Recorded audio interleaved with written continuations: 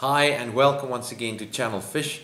In today's lesson we are going to discuss intervisibility and how to determine intervisibility. But firstly, what is it? Let's look at a definition. So intervisibility is mutual visibility between two points without any obstructions blocking the view.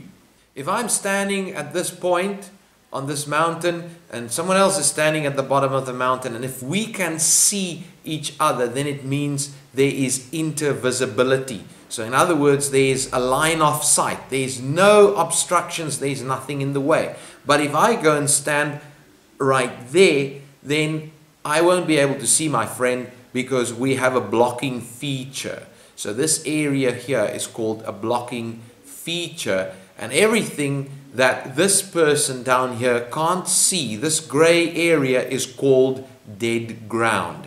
So how do we determine intervisibility if we use a topographic map or a contour map?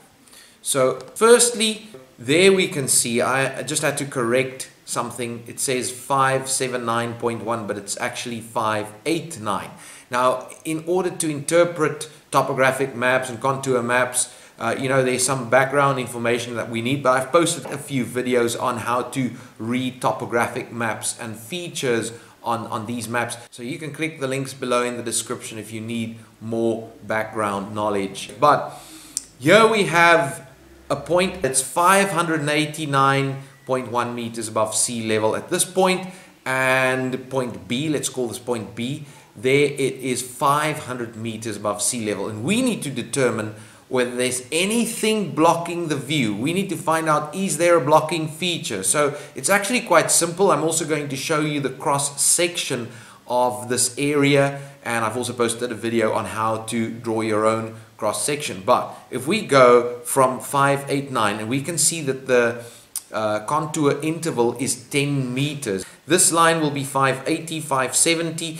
So this is no problem. And then 560, 550 we are going downhill as we go in this direction and then we get to 500 and now it's going to stay at roughly 500 meters because there you can see the line it's going there so it's still roughly 500 meters there's a bit of a valley but then it's going to well there's another valley so it's quite low down there and then there's 500 so I don't think there's a problem there I think we have intervisibility between those two points now, let's go and have a look at the cross section.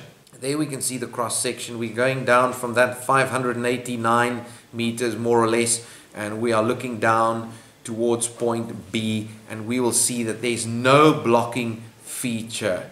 So there is definitely intervisibility between those two points. If you have any further questions, please go down to the comment section. Otherwise, feel free to like, share, comment and subscribe. But thanks for watching. See you next time. Goodbye.